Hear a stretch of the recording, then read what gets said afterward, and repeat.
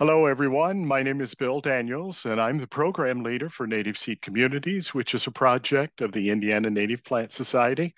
We're very glad that you've joined us tonight for Allison Shoaf's presentation, Program, Programs and Resources for Creating Pollinator Habitat. Before I introduce Allison, I'd like to share with you some information on our project, Native Seed Communities, which is a which as i mentioned is a project of the indiana native plant society. And we promote networks of native plant enthusiasts working together to regionally collect process and propagate native plant seeds to increase the, the presence of these beautiful and ecologically appropriate native plants in all of our landscapes. Um, as far as our presentations like tonight uh, are concerned we're devoted to discussing the propagation of native plants from seeds and the spotlighting of organizations and individuals that mobilize native plant enthusiasts to propagate our native plant seeds, but also who take those seed grown plants and get them out into the communities.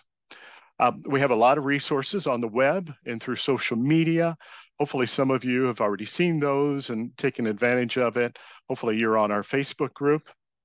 And Bill Lonberg, who's helping me tonight uh, with uh, fielding uh, information, uh, questions from the chat, uh, and also we'll be sharing the information as well in the chat, all, all of our, our links, that is. another final note, um, a few final notes. Uh, for the best experience for everyone, if you'd keep yourself muted unless you're invited to unmute. Also, as I just mentioned, Bill Lonberg will be taking the questions in the chat. Um, if they're appropriate at that point in time to where it may be good to answer those questions uh, during the presentation, Allison has asked to be interrupted and, uh, and then Bill will ask her uh, the questions then. If they're more general, then he'll wait uh, until the very end. But please do ask your questions. All right, well, let me introduce Allison. Allison Shoaf is the district conservationist for Natural Resources Conservation Service, NRCS. Many of us know it by the acronym. She has a degree in forestry from Purdue University and 10 years experience in natural resource management and soil and water conservation. Previous to her current role, Allison was the district manager uh, for Brown County uh, Soil and Water Conservation District. And it was there that I was able to to meet Allison and to learn from her. In fact, she uh, came to our property and did a, uh, a, a uh, an invasive survey of our property. And I don't know, Allison, that may have been, uh, it could have been eight, ten, could have been as much as 10 years ago. Uh, but uh, anyway, it was when I was really, really getting into native plants, and she also helped us with a grant and uh, very knowledgeable, knowledgeable, very, uh, very, very helpful. So I'm I'm excited to be able to learn from Allison tonight again, and I will at this time go ahead and turn it over to you, Allison. All right, thank you, Bill. Is my mm-hmm. audio okay? I can hear you fine. Okay, great. Um, so yeah, like Bill said, my name is Allison Shoaf. Um, I am the district conservationist for Brown County, Indiana. So uh, NRCS is, you know, nationwide. Um, and then at a state level in Indiana, there's one of me that covers every county or at least represents every county. So I, um, my office and where I live is in Bloomington, but I spend a lot of time in Brown County. So um, familiar with a lot of the state, but this part's near and dear to my heart. So um, I will go ahead and share my screen. And give me a second while I get it to the presentation mode.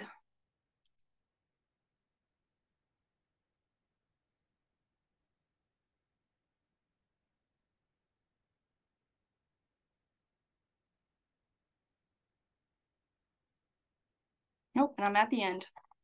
Go to the top very quickly. All right, how does that look? Looks good.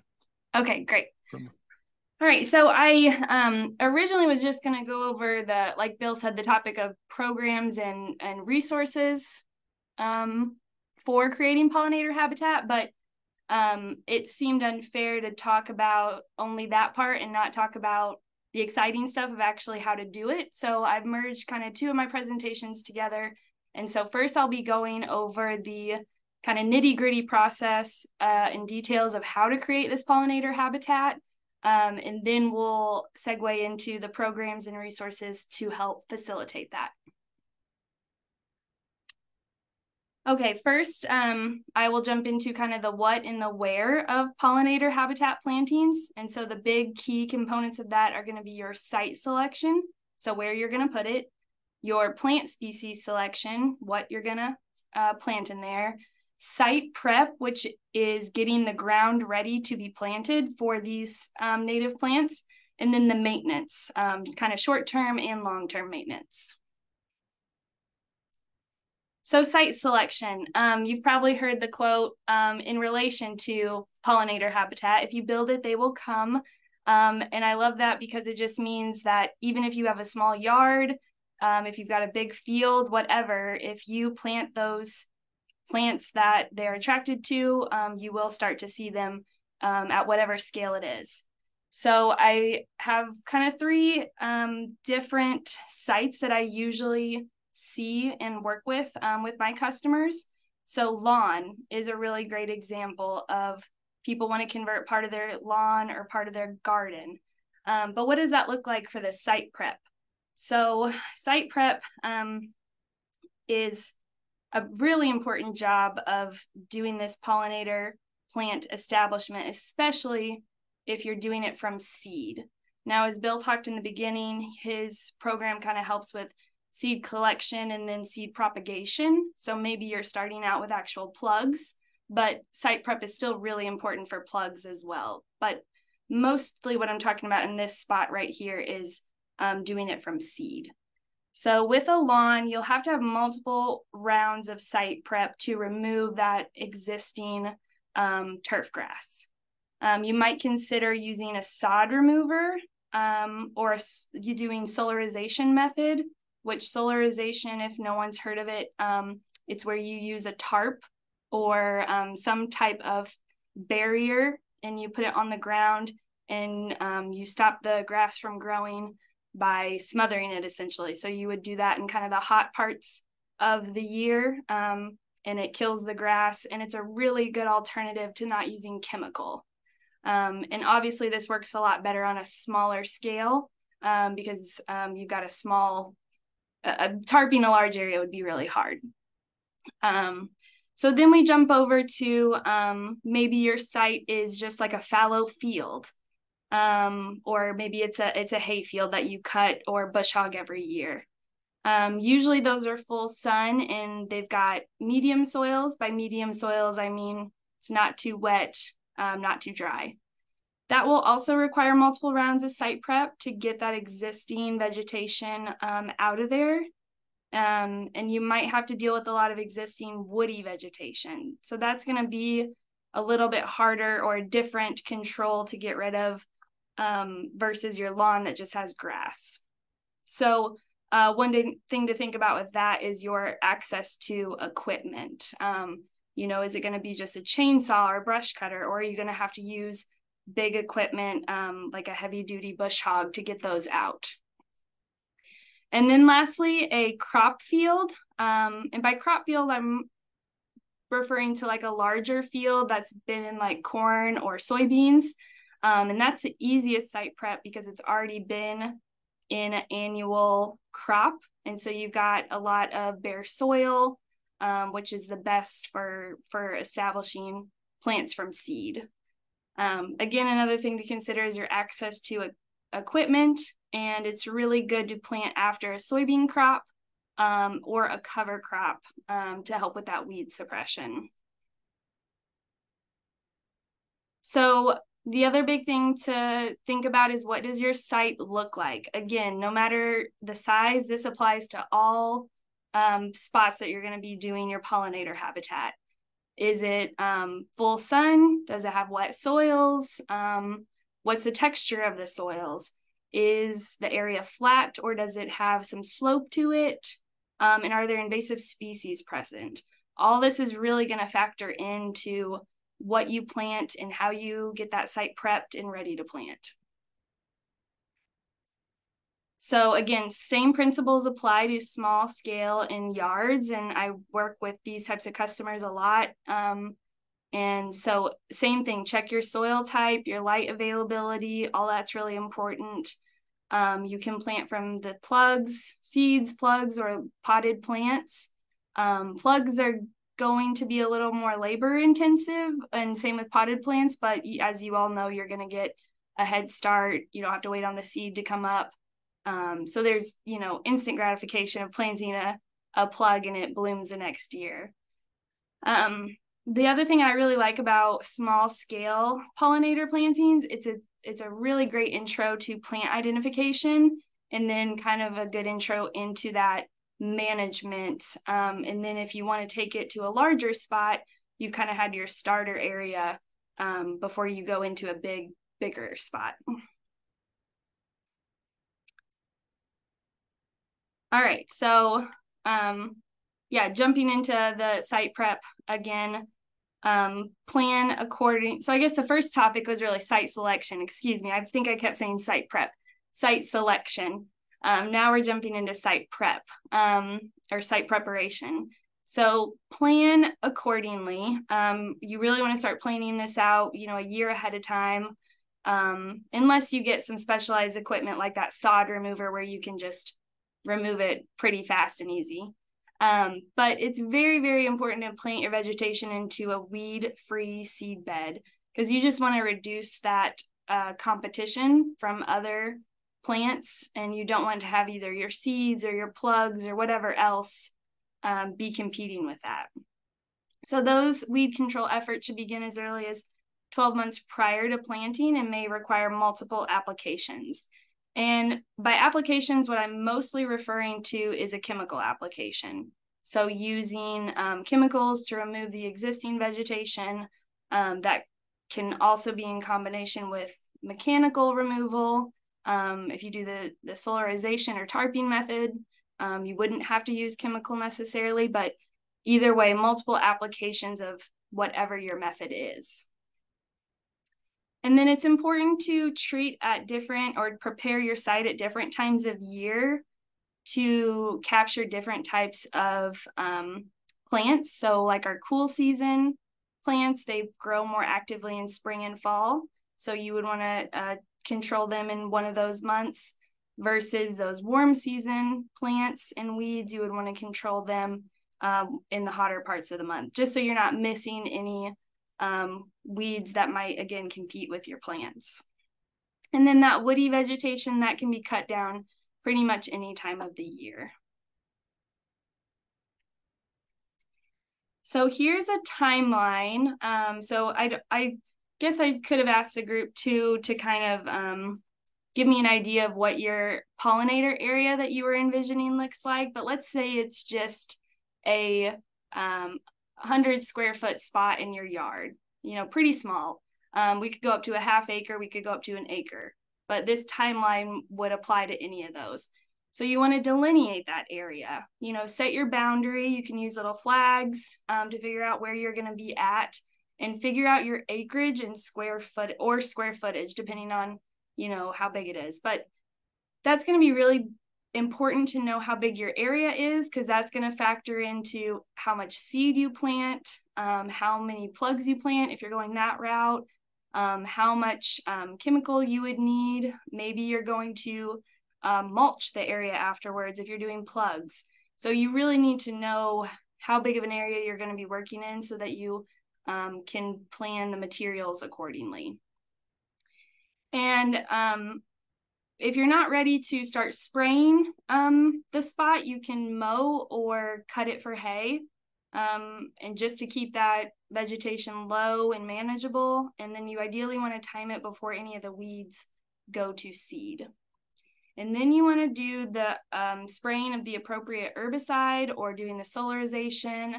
Um, some other methods could be tillage or fire. Um, those last two I don't readily recommend because they can actually make some weeds um, worse, but um, sometimes it is necessary or it's an advantageous tool.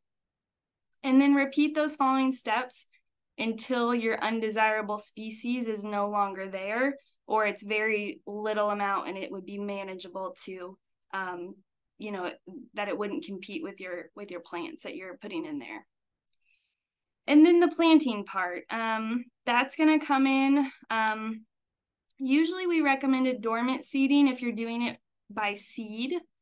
Um, and you know bill could probably go into more of this than me but it really mimics um, that seed's natural timeline for the the native plant would drop its seed um, in late summer early fall and then over the winter um, it would kind of work its way down into the soil and so we're dropping it out in december and february hopefully it reaches bare soil and then it would germinate and start growing uh, the next growing season and you can either just broadcast that or you can drill it into the ground if it's a large area. Um, another, and then obviously, if you're planting plugs, that would be something you plant um, in the growing season. Um, that's a little more straightforward. Um, and another really big thing, hopefully, if you guys are all native plant enthusiasts, you've uh, heard this before, but do not use any fertilizer when you're planting these plants. They really don't need it. They're adapted to our soils, and fertilizer usually only makes the weeds more problematic, and your native plants don't need it. So don't use fertilizer. All right, and then the plant species selection. So I am going to um, leave these slides up for a little bit, and you can kind of think, uh, well, not yet, but when I get to them, you kind of think about the area you have in mind for your um, pollinator habitat and think about um, which of these would apply to that. But there's a lot to choose from. If you've looked on any websites or if you've gone to plant sale, native plant sales, you probably like, where do I even start? Um, I will say though that diversity is key. Um, so having as many different types um, within a limit uh, is good. Um, and that's because you really want to attract different types of pollinators at different times of year. So whenever um, I put together mixes for uh, my customers, we always start with at least nine species. And that's going to be three, at least three blooming in early spring, three blooming in the summer, and then three blooming in late fall. Um, you also want to consider a diversity of bloom color because, as you know, certain pollinators are attracted to different colors and it also just aesthetically looks nice. So, diversify your color as well. And it's okay to choose a pre selected mix. Um, so, if you get on different seed companies' websites, they'll have one that says like for shady areas or for um, wet spots or woodlands edge if you're getting those from a reputable um, native seed nursery, those are perfectly fine to use because the experts have already chosen what's going to do well for your site. So don't feel like you have to create a mix. Go ahead and use what's already been created. And then they're not as showy, but it's always really important to remember to add grasses, sedges, and um, legumes, which would be like some clovers, um, or other um, legume species. There's, I'll point out some in my slides, but those are really important for other functions like um, for nesting habitat, overwintering habitat. Um, and so don't forget and they can add a lot of good structure to your planting. So just because they don't have a pretty blooming flower um, doesn't mean they shouldn't be added to, to the mix. And then obviously add milkweed to any mix if you're wanting to establish more monarch habitat. Okay, so these are just ones that um, I put together um, that would meet that three blooming in spring, summer, and fall. And so this first mix is going to be for full sun and drier soils.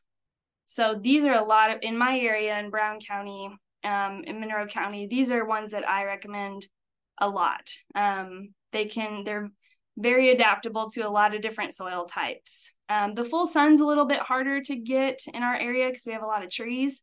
Um, but if you've got an area with full sun, then these are some really good starters. And in this mix, the legume is the white indigo.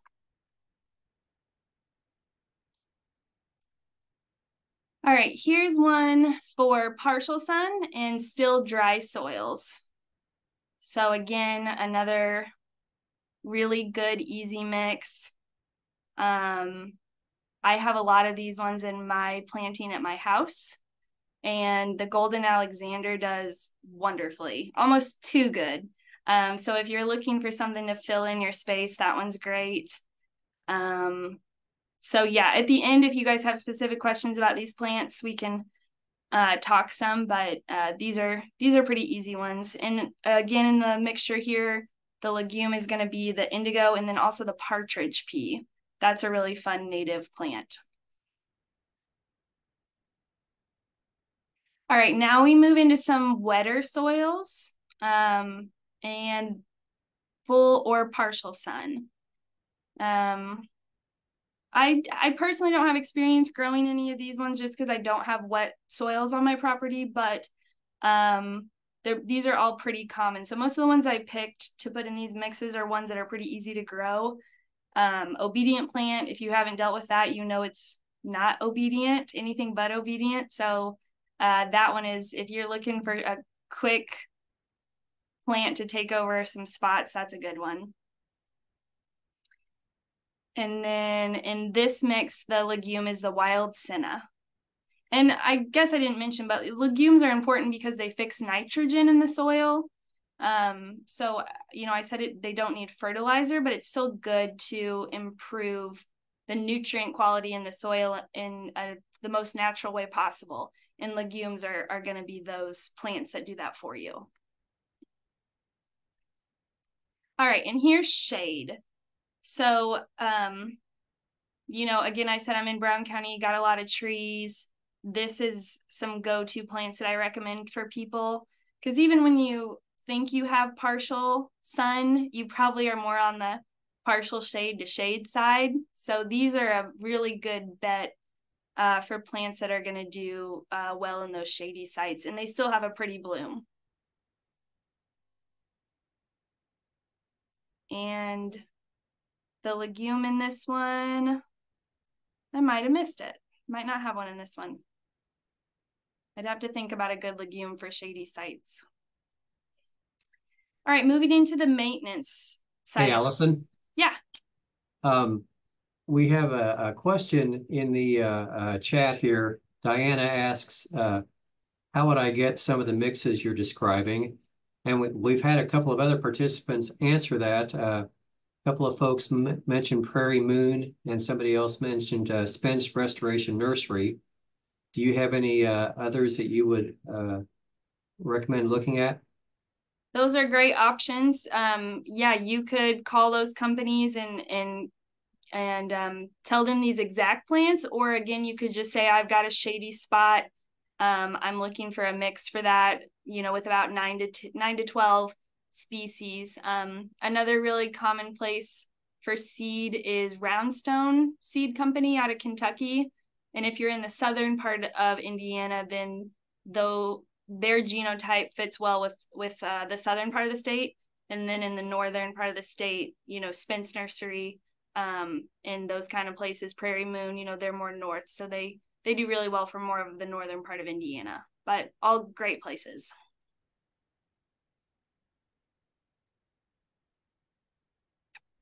All right, maintenance part. Um, so you've already planted and now you patiently wait for things to come up. Um, but it's important to remember you can't just plant and walk away. You know, I switched over to a native um, garden because I like the idea of it being really low maintenance, um, which it is, but it's not no maintenance. So don't think you're just going to have a you know, a wild, um, well, I guess you could, but if you want to keep it, um, the plants healthy and, and keep them thriving, you're going to have to do a little bit of, of work. So, um, in that first year, um, and again, this example is kind of you've planted by seed. Um, so if you've planted by seed in that first year, you're going to um, mow it really high, uh, you know, 10 to 12 inches um, to reduce the competition from weeds. So you, you did some really amazing site prep, but there's still going to be weeds that either get blown in or um, maybe your site prep didn't get all of it. So you can mow it in that first year and your native plants will all be doing a really because they're native perennials they're going to be doing a really good job of setting their roots. And so if you mow them it's still not going to um, set them back too much versus your annual weeds they're putting a lot of energy into making those seeds. And so if you clip that off then you'll you'll keep that plant from going to seed. And then as always scout your area and treat any invasive species that pop up um, I say down here annual weeds are okay.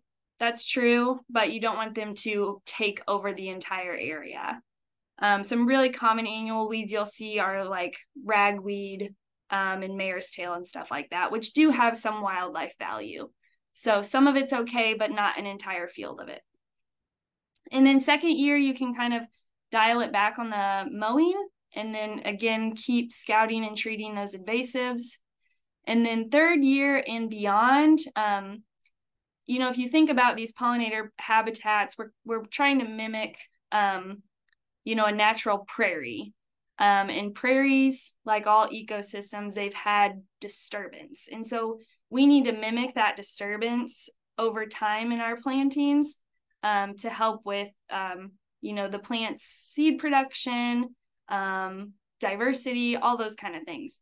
So, um, common practices that people do for that maintenance um, are disking or spraying, but only on uh, strips. So, obviously, you're not going to disc or spray the whole field because that would ruin your planting. But um, small areas of it or in strips are actually really good for um, keeping your stand healthy. And then prescribed fire, um, that could be a whole other session and talk about prescribed fire for pollinator um, planting management. But that's a really good tool um, to use, obviously, um, with some training and or maybe some experts. Um, but that's that's a really good tool to help um, in the future. And then again, oh, I put it in all of these, but it's just really important to keep looking out for those invasives uh, because even one year of them being able to go to seed could really set your planting back. Allison, so, we have, uh, we have another question here. Uh, okay. Uh, Becky asks, uh, "What do you mean by mowing? Uh, literally or cutting back?" It could be both. Um, I in in my description here, I do I did mean it literally, but if it's a small enough area, you could just use hand clippers, or like some people use um, like an old fashioned uh, scythe and go through and cut it like that. So um, it could be with hand tools or with an actual mower or with a weed eater. Um, so whatever would be most appropriate for the size of your planting. It's a good question. Uh, all right, so this uh, visual right here is really great for people if you whether you've done something like this or you're thinking about doing something like this um, native plants uh, take a while, planting from seed again, they take a while to establish. And so a lot of times people uh, get their site planted in the end of year one or even beginning of year two, they're like, it failed. Nothing came up. I, it's all weeds. I totally messed up. Um, but more than likely you did not. So this first picture on top is very typical of what it looks like in that first year. So if you walk through here, you probably would be able to see a lot of small native plants um, and you'd be able to identify them by their leaves. Um, it's kind of hard, but usually can start to say, that looks like it belongs here, or that just looks like a weed. Um, and so it's okay if it looks like that um, because in year two, you'll start to see more blooms. And then year three and four and five really is when all the plants will reach that full maturity that um, all be blooming and it's worth the wait but don't be discouraged if it looks like this in the beginning this is still really good wildlife habitat um, so it's not it's not bad and you don't need to redo it. Give it some time and wait and see how it looks. Allison, we, we have a couple more questions here. Yeah. Uh, I'm going to go to uh, Sarah first. She asks, uh, how do you not kill the pollinators overwintering in the prairie when you perform maintenance? Yeah, that's a good question. Um, you could have some collateral damage, um, but those over, so that overwintering, um, well, I guess let me back up. That maintenance, we really recommend doing it on um, like in thirds. So if you had a three acre planting, you would only do that maintenance on one acre and then the next year or two years later, whatever. So you would stagger it. And so um, you would minimize your damage. Um, you wouldn't um t- like say you did a prescribed fire if you did it on the entire three acres then your all your wildlife that that relies on that habitat yeah they would not have a place to go and they would have to they would leave or they would just not um, be as happy there. So that's a really good point. Um, we do recommend splitting it up into halves or thirds. Um, there again there is going to be a little bit of collateral damage but the wildlife that comes in and utilizes it even more after that disturbance um, is is worth doing some of that. And uh, David has a question as well. He asks, uh, "What are your thoughts on uh, or advice on a nurse crop like oats?" That's great. Very good. Yes. Um, so a nurse crop or a cover crop is usually included in a lot of these mixes that you buy. You know, I know Spence Nursery um, they almost always include it in theirs, and I definitely recommend it. Um, and for those um, that don't know what it is, just to expand on it, it's an annual um, plant, and so oats or oats are probably the most common one. Uh, maybe winter wheat, something like that, but it's going to grow up a lot quicker. So, like in this top picture here, all these bare spots in that first year, the oats would kind of fill that in and help reduce um, soil erosion, weed competition.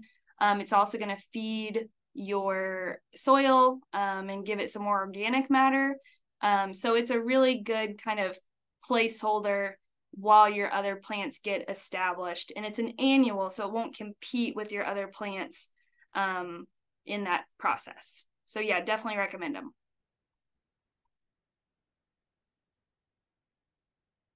Any other questions? This is kind of a nice breaking point where I move on to the programs and resources side of things.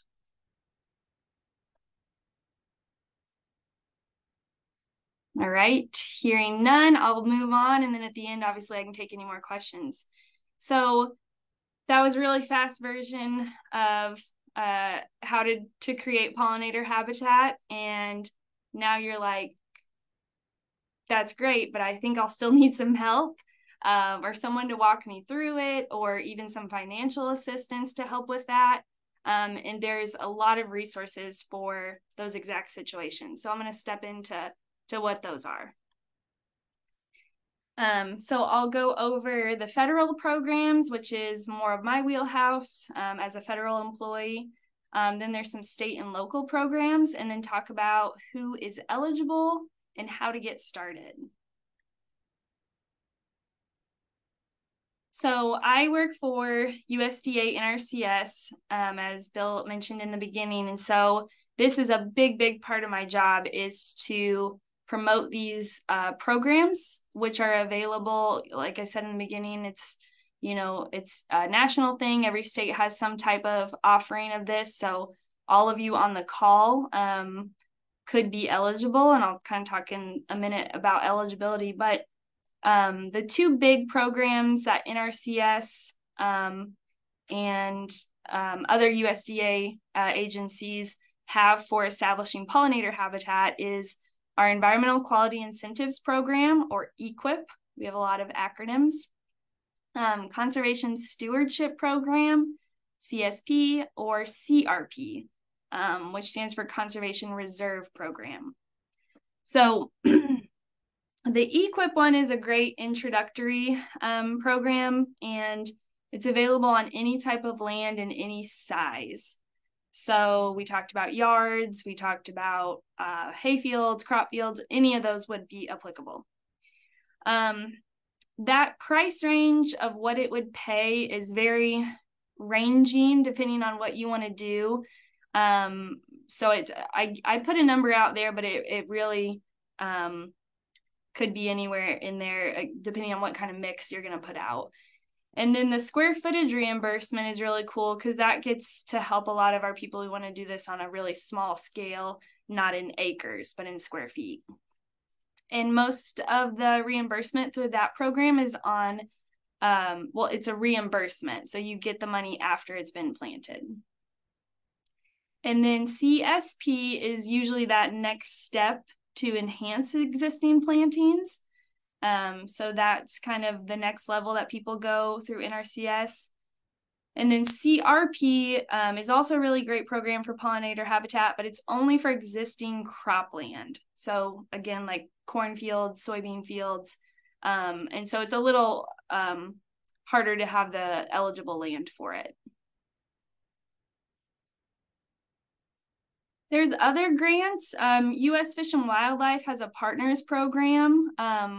I don't know a ton about it, but um, I I haven't worked on one before, but I know it looks very similar to our EQIP program as far as what it can offer and kind of the price it can offer. Um, so that might be a good alternative for others. Um, and then that's at the the federal level of Fish and Wildlife, but then our state level with the um, DNR Division of Fish and Wildlife, they also have a lot of great programs to improve wildlife. I just went ahead um, and put their uh, link to their website on here um, because they real like they've done what I tried to do in this slide and they compiled the whole list of available resources. And they've got um, wildlife biologists across the state that specialize in this kind of stuff. And then I'll make a plug for um, our soil and water conservation districts, as Bill said in the beginning, that's where I was before this job. And there's one of them in every county, and they do amazing work at the local level. And a lot of times they have small grants available for this kind of stuff. So that's always my recommendation of where to start to see if there's funding available in your county is with your um, SWCD. That's the acronym for, for those. So, who and what is eligible? I'm mostly going to be talking again about my NRCS program, so the EQIP and CSP, because um, that's what I deal with the most. Um, so, when you start with our programs, um, they're the DC District Conservationist, which is what I am, is you kind of your point of contact. And um, in order for them to start working with you um, or shortly after working with you, then you'll have to get um, your property and yourself uh, into our system. And what that does is just gives your property a unique ID number. It's called a farm and tract number. And then your name also gets into our system so that we can um, kind of build what's called a conservation plan for you. A lot of people stop right here though and they say, but I don't have a farm. You know, it's called a farm and tract number. Um, but that's, you know, maybe your property doesn't look like this, or you're like, I don't know if it is a farm. Um, they really redefined what their definition, and by they, I mean USDA, what their definition of a farm is. So these are pictures of sites that I work with a lot now. Um, and so we're, you know, we're considering these um, agricultural lands. Um, and I think in my in my next slide, I'll kind of show you why it's considered agricultural land. Um, once you get a farm and tract number, you get, you know, an added benefit to being in the system is you get a map, um, which shows your property. And as you can see on the left here, I've got a really big property, but then on the right here, um, it's covered up, but it's, you know, less than an acre and it's in the middle of town. So again, we've redefined a there's no size limit for what we're calling a farm, um, and it doesn't have to be outside of city limits. So a lot of people who didn't think they were eligible for our programs before, um, they they truly are eligible. Uh, with the caveat, it must include that agriculture component um, because we are the Department of Agriculture. And eligible land means land on which agri- agricultural commodities, livestock, or forest related products are produced. So, this picture down here, I showed it earlier. It's kind of hard to see, and that's on purpose. But can you tell if there's an agricultural product in that picture? There's a tiny little garden right there with like one tomato plant. And so I can work with this customer because they do have a garden, uh, which and they're growing crops. It doesn't matter if it's a large scale or for them to sell. They have an agricultural product on that property, and so then I can work with them to do um, pollinator planting to enhance that um, that crop. So, how to get started? Um, you will want to contact um, the agency or the office to get started. Again, there's one for every county. Um, and if you have questions about that or who to contact, um, you can either reach out to me or just um, do an internet search and uh, put Indiana NRCS, and it should show you our state website page. And then you can um, go to the contact page and find your local office. And then you'll want to just talk with them and tell them what your goals are about establishing pollinator habitat. And then they'll walk you through the process to get into the system. Um, they'll likely do a site visit. Um, and then if you wish to apply for the financial assistance side of things, then they'll walk you through that process. Um, they can also just advise you on what to do, and you don't have to go through the um, the financial assistance program. So we're also here to just provide free advice. So that's kind of my next step. You can receive that technical assistance. We can help you with a plan, um, seeding recommendations, all that kind of stuff. Um, and then we can stop there. Or if you want to go into the program, um, which is a competitive program, then we would build um, a plan for you in off of your application and um, we would see if it gets selected for funding. Um, and then if it is selected for funding, you would go into a contract and then you would complete the work as outlined in the contract and receive reimbursement. There's a lot of steps in between these steps. Um, I make it seem a little more simple than it is, but um, if as long as you communicate well with your local office, um, it can be a pretty simple process.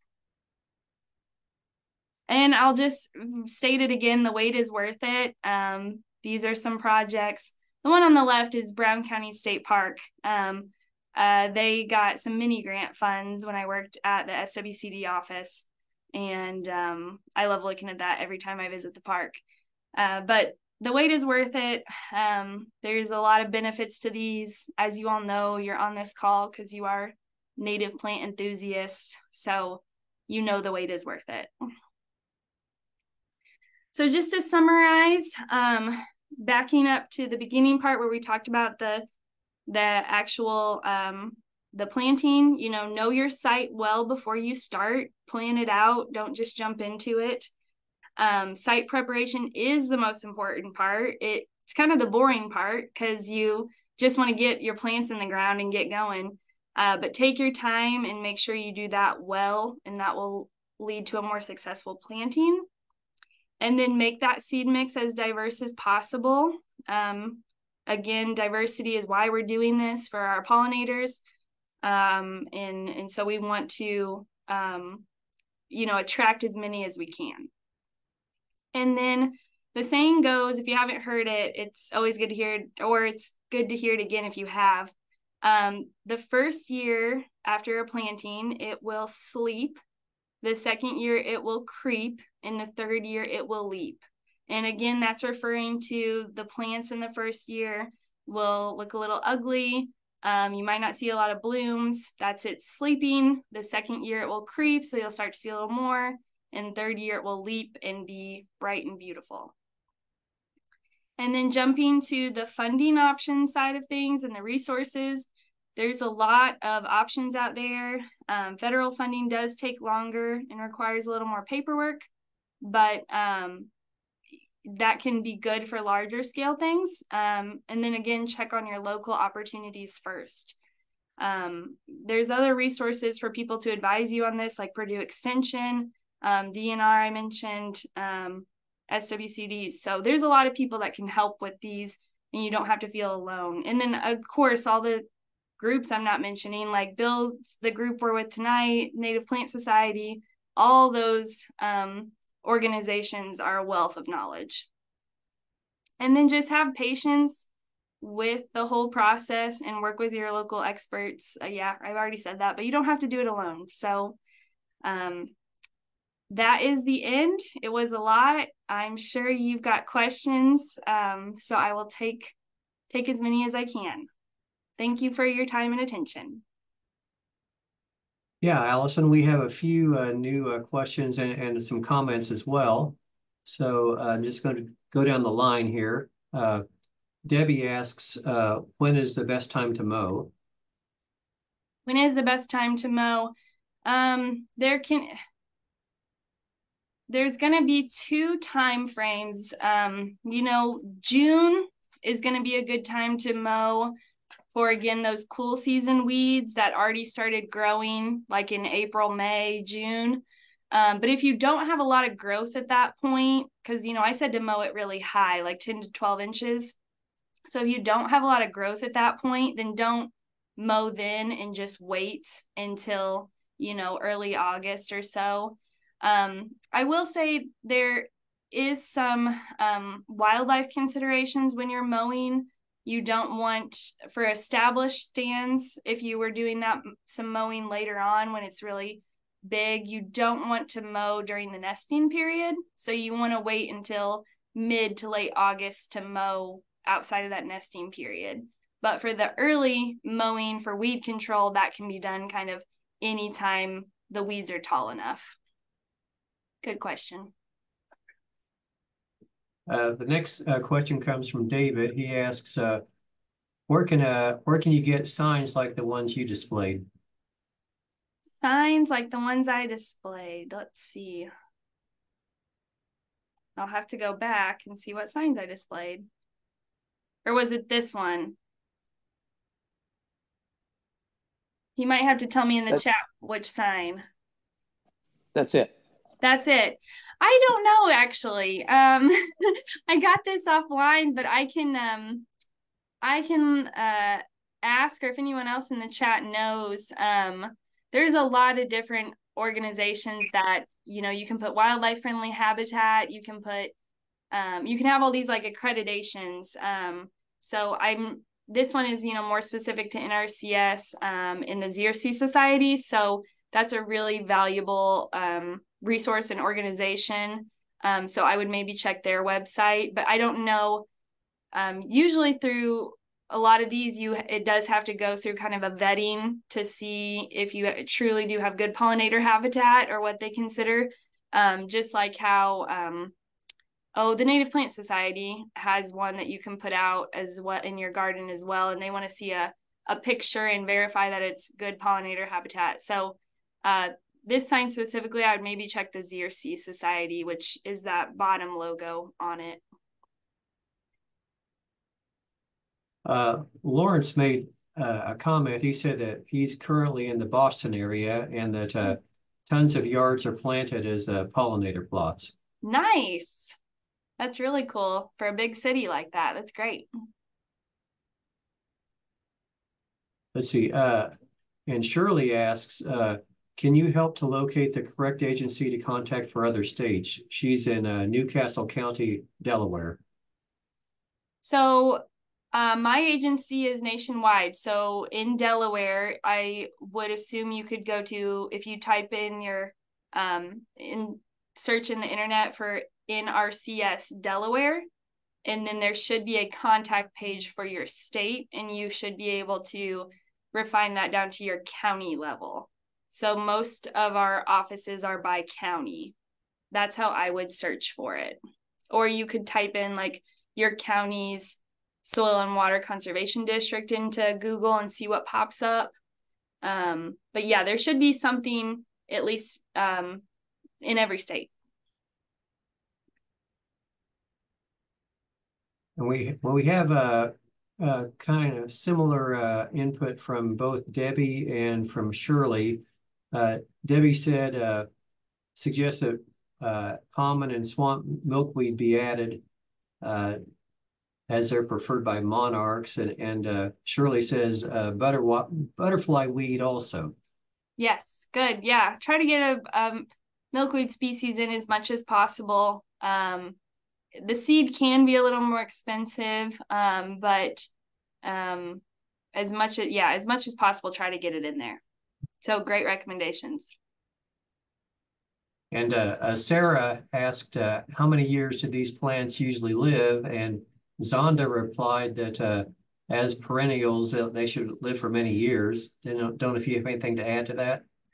I will say um, they do live for many years. She is right, but some of them do start to fall out of the system a little more readily. So this picture on the bottom right, that is a lot of bee balm or bergamot and um, a lot of gray-headed coneflower. And those ones, um, they're kind of those early bloomers. They come up and they're really strong in the beginning of the planting for the first like let's say five years, and then they start to kind of fall out of the system and more of your longer lived perennials um, take over. Just like in a forest, we've got trees that live longer, some tree species that live longer than others. It's the same for these um, prairie um, plants. So some of them do start to fall out of the system over time. You can add them back in um, by just doing some broadcast seeding um, or if you want to do some of that disking or spraying to kind of reintroduce some species, if you want those back in, you can.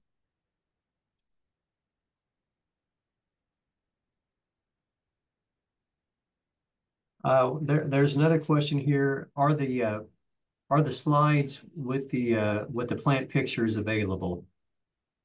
I think Bill's gonna make. I just need to um, to get this reviewed. Um, but then I think he's going to be able to make this presentation available to you guys um, who registered, obviously, and then to the public. So, yes, that will be available to you guys.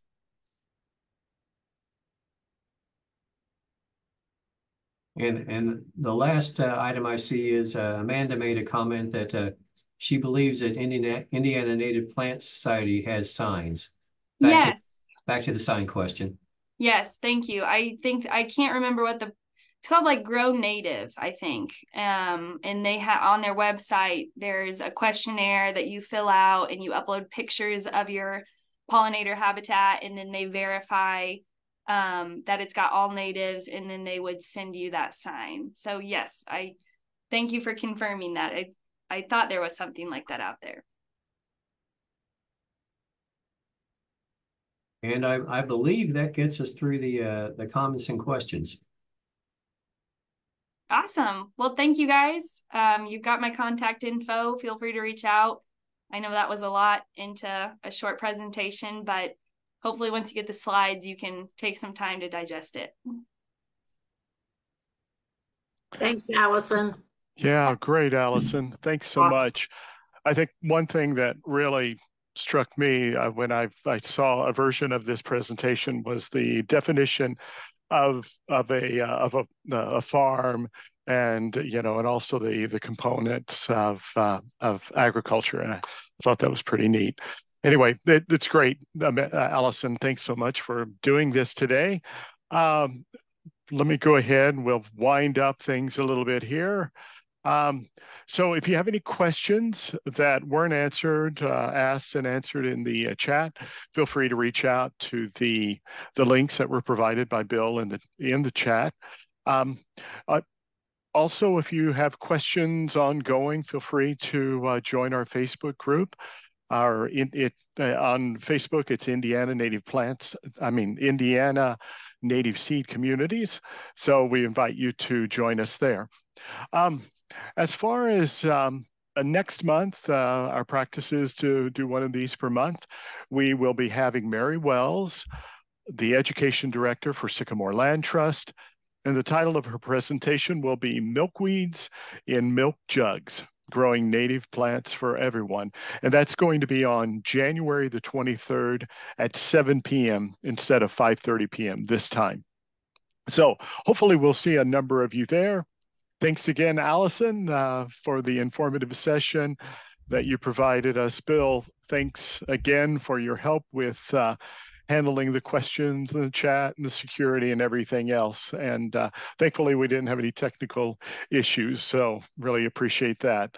Um, so um, it was good to see you all. Uh, we'll sign off for now. Happy growing natives from seed.